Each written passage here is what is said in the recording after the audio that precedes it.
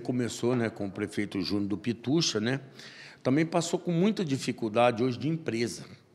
O que, que acontece? As empresas vinham e não, não concluía. Às vezes a empresa ganha uma licitação, terceiriza para outro que não tem condição e a obra paralisou muitos anos. Tivemos muita dificuldade, vem pandemia, vem tanto problema. E pessoas que assumiram empresa que não tinha condição, bem dizer. Então você vai, vai embora, você traz outra empresa. Graças a Deus já está quase tudo concluindo. E uma coisa né, que a gente quer lutar, eu vou ver como pode ser feito, se pode ser feito para nossa cidade, igual tem nas ruas, fazer um lago. Se ainda dá tempo da gente tentar abrir aquilo ali para fazer um lago, a pista de passeio já é 3 quilômetros, está pronto pista de skate, quadras, né? os vestiários, os brinquedos já estão tudo colocado, academia. Então era um sonho também, tanto do ex-prefeito, que foi um pedido para a gente dar continuidade, porque isso aqui é dinheiro público. Você já pensou se eu não terminasse as obras? Quantos anos eu fiquei para terminar um ginásio? 17 anos no município. Então, isso, o município perde. Então, o dinheiro está aí, quem começa, um prefeito começa. Eu sempre tive esse pensamento: a obra é ser concluída. O dinheiro vem você tem que trabalhar para isso. Quem perde é, os, é o município, é a população. Então, uma obra que você inicia, se você iniciou, é porque ela tem importância. Então, tem que terminar, quanto nós temos hoje no Brasil todo. Estamos lá com o nosso Dianari Ribeiro, você vê, ó, dinheiro federal. Ó a dificuldade que nós estamos tá da empresa para terminar uma arquibancada, que já era para estar tá tudo pronto.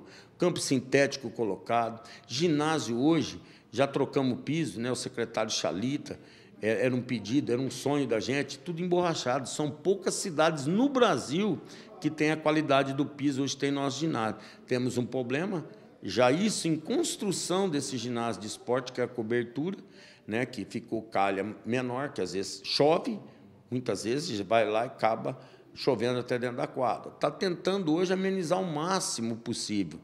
Para isso aí, a gente conseguir fazer as, as aulas que tem, à noite, que o pessoal, a população usa, para melhorar, porque a água, a chuva tão forte demais, que normalmente chove muitos milímetros aí, que casas aí é, tem problema, é, cai árvores na cidade, é de vento, porque aqui as chuvas são fortes mesmo, mas nós precisamos ter qualidade. Então, hoje, o Dianari está com o campo pronto, nós esperamos terminar aquela arquibancada, a quadra vai ser pintada.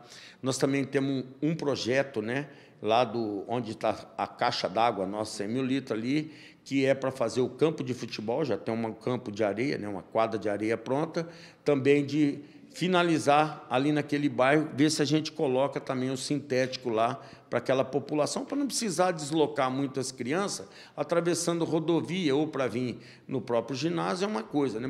para vir jogar no campo do Dianari, então ali já vai ter outro local de lazer tudo que a gente vem vindo atrás, que é o sonho de fazer mais um PSF lá naquele bairro, estamos com dificuldade porque não estamos encontrando nem casa para alugar.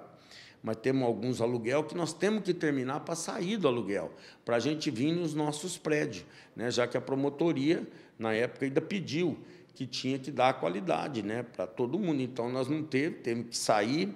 Tudo depende de vigilância, por isso que demora. Nós temos um prédio hoje pagando aluguel de um ano que já poderia estar tudo pronto, mas tudo você precisa com dinheiro em caixa, mas você precisa de aprovação da vigilância.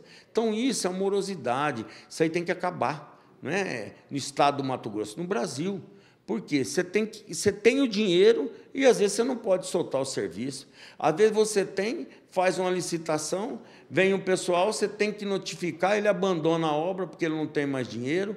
Aí ele quer, ele quer já a primeira coisa dele ganhar uma obra, ele já quer que dá aumento na obra, senão ele para. Então nós tivemos muito problema. Não é nós aqui, prefeito Claudinei, vice Angelita e equipe. É o estado inteiro vem vivendo um momento difícil. Brasil, devido à mão de obra. Então, estamos tudo caminhado, queremos finalizar, terminar bem e buscar mais recursos, porque ainda temos, eu tenho um ano até 31 de dezembro para estar trabalhando no que eu fiz, me prontifiquei para procurar fazer o melhor.